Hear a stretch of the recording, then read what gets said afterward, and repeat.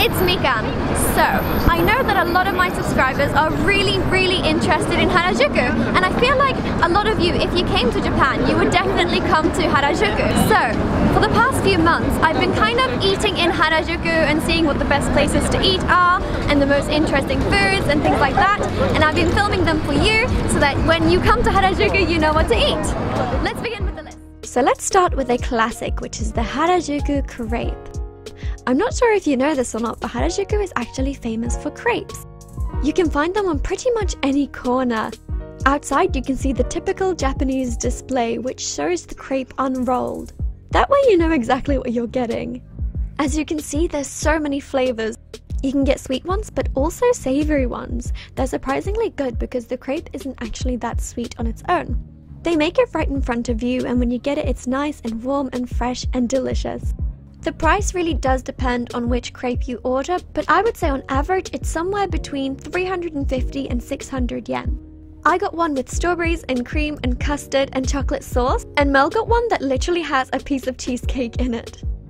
Needless to say, we both thoroughly enjoyed our warm, sweet crepes.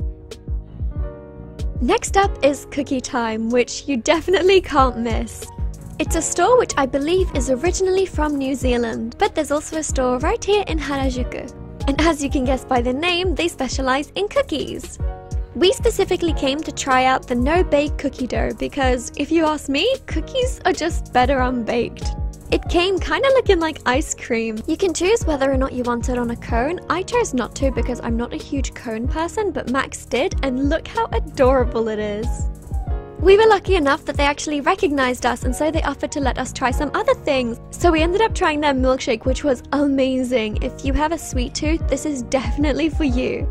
This one was actually Harajuku themed, which I think fits perfectly with this video. We also tried their s'mores ice cream, which was literally the size of my face. And if you're someone who needs their cookie fix at home, you can buy some. If you're a fan of cookies, this is the place to go. Next, let's go for something savory. This stall outside Lotteria sells these really long fries, which were actually really trendy at one point. They sell various other street foods as well, but I remember seeing the fries on social media before I even moved to Japan. I was starving at the time though, and fries alone were not gonna cut it, so I decided to try the rice wrapped in meat. And here are the fries in their long glory. The fries are actually famous for being a little bit chewy, which they were. They were pretty good though. It was interesting that they weren't just long fries, but that there was something different to them as well. I cannot recommend the rice wrapped in meat enough. It was absolutely delicious. Salty and saucy and savory. It was everything you could need for a quick snack. Next up is the Kawaii Monster Cafe, which I would definitely say is a Harajuku classic. They definitely put in a lot of effort to make sure that you feel like you've been transported to another world from beginning to end. The decoration is so well done. This is definitely one of those places where you're paying more for the atmosphere than for the food. I mean, it's genuinely impressive. Like, ceiling to floor, everything is decorated to fit the theme. I can't even imagine how much time and effort it took to make it look like this. They also have a stage in the middle that looks like a cake where the dancers dance sometimes, but we didn't manage to catch a show. Even the menu is like a little touchpad to make it look a little bit more futuristic. But my favourite part is of course how the girls are dressed. They are so cute and they were so nice as well. I decided to pick the food items based on what I found to be the most unique and interesting. Of course, to make the most of the experience. The first thing I decided to try is this stack of pancakes with a chocolate covered strawberry ice cream. I thought the design of it was really cute, and as far as pancakes go, it was pretty decent. The next thing I tried was this thing I think they called cat food. It was kind of like a mix of cereal and ice cream and candy floss. I wasn't entirely sure if I liked this one. Next, I decided to try what they called a science experiment, which was a lot of fun. And the drink ended up tasting like an unspecific fruit. I couldn't decide what flavour it was. Next, I decided to try this milkshake with popcorn on top, and it actually ended up being my favourite, which really surprised me. The milkshake kind of tasted like vanilla, but the popcorn was salty, and I guess I liked the mix. The Kawaii Monster Cafe can definitely be a little bit expensive, but it's worth the experience at least once. Speaking of Harajuku classics, there's also Totti Candy Factory's Rainbow Candy Floss. I would describe the inside as how a kid would imagine a sweet shop. All pastel and bright and cute. Other than candy floss, they also sell these cute little cake pops. I got the little bunny. You get to watch them make the candy floss, which is a lot of fun. You get to see them adding colours one by one and layering it up until it looks like this rainbow cloud. Do you see how massive it is? I mean, look at the candy floss and then look at my head. A fun thing about it is that each color is actually a different flavor, but I would definitely recommend that you share this with someone because it was very difficult for me to finish by myself. Next is the cheese hot dog, as they call it, which is another thing that's kind of trendy online right now. I believe it's originally a Korean food, but I might be wrong.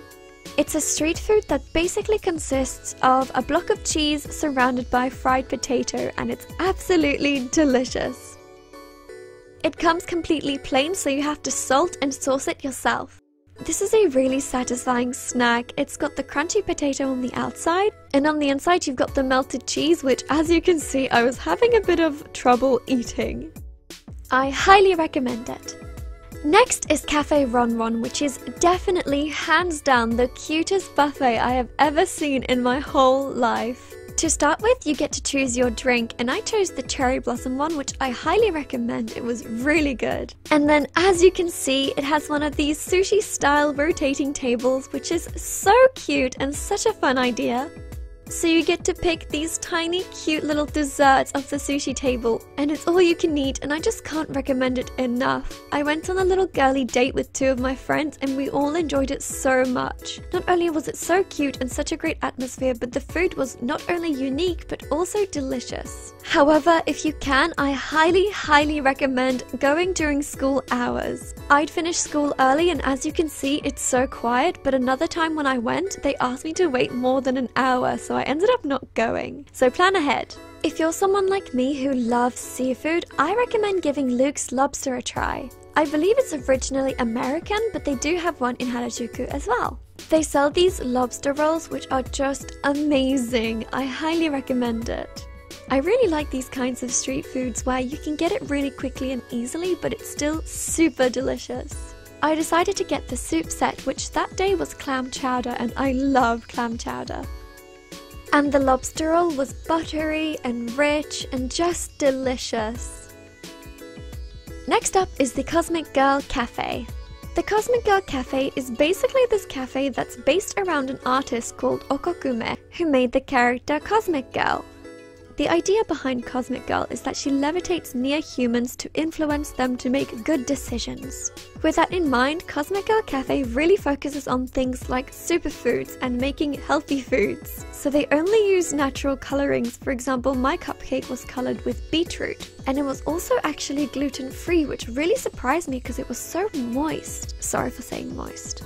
The smoothie was also delicious. I'm not so keen on the mint flavoring at the top, but when you only drink the bottom, it's just such an amazing smoothie. It's a great place for those who want a guilt-free treat. The next place is Sulbing, which is selling one of my absolute favorite foods right now, which is bingsu, Korean shaved ice. I cannot stress this enough. I know it doesn't sound appealing, it's just shaved ice, but I, I can't tell you enough. It's amazing. I don't know what witchcraft they put in it, but it's so fantastic. Like, even now, I'm stressed that I can't eat it. Like, watch me eat this food, like, I cannot resist. And I keep going, and it's genuinely draining my wallet. And I, I can't stress this enough. If you have not eaten bingsu, you have to eat bingsu. It's creamy and sweet and refreshing and melts in your mouth. And the crunch of the ice and the fruit mixed with the cream. I highly recommend. Lastly, we have Eddy's Ice Cream, which is just the cutest little ice cream shop. Not only is the entire store pink, but the ice cream themselves are so cute. They decorate them so nicely. I also love how the store itself is decorated. I think they kind of have something with the K-pop group Red Velvet. But my favorite thing is these old phones on the wall. I think they're so cute. I decided to go for the unicorn one, which actually had some candy floss on it. I highly recommend that. I didn't think that candy floss and ice cream could go together so well, but it really does. It's really tasty. And there you have it. There is my list of my favorite foods in Harajuku. Please comment down below which foods you think are most delicious, or if you have any other recommendations, please do let me know. Thank you guys so much for watching. Don't forget to hit like and subscribe. Thank you. Bye.